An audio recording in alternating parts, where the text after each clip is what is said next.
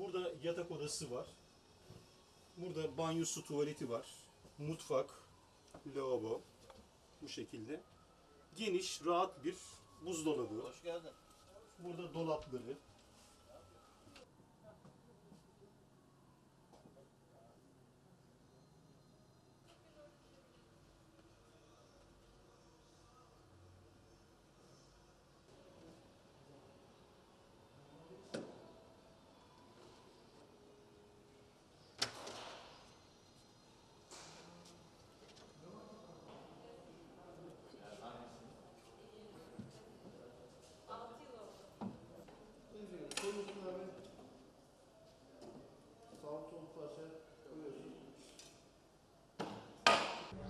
İzmir'de karavanda yaşayanların sayısı her geçen yıl artıyor. 12 ay boyunca karavanda yaşayan vatandaşlar şehirde karavan yaşam alanlarının artırılmasını talep ediyor.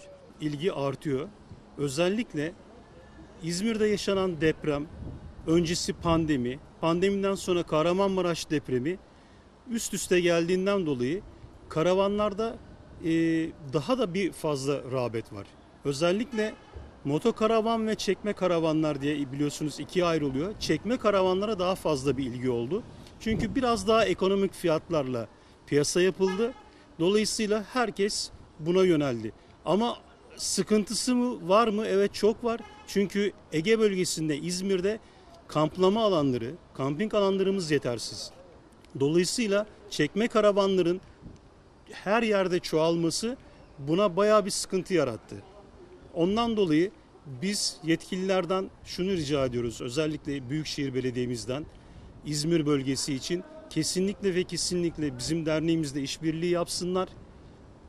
En kısa zamanda hem konaklama yerleri hem de parklama araçları yapılması gerekiyor. Araçlar için parklama yerleri yapılması gerekiyor. Bu arada bazı ekonomik şartlardan tabii bazı ekonomik şartlarından da kaynaklı e, insanların kira artışları yüzünden yıl 12 ay karavanlarda yaşama başlayanlar var. Çok iyi tanıdığımız insanlar var yani. Yıl 12 ay karavanda bir fiil yaşıyorlar. Ve sürekli bize mesaj atıyorlar. İşte biz şurada konaklıyoruz buradan kov- kovulduk. Jandarma geldi bizi kovdu. Ya yapacak bir şey yok yani. O kadar çoğaldık ki. Belediyeler bu işe çözüm bulması gerekiyor. Bizimle irtibata geçecekler.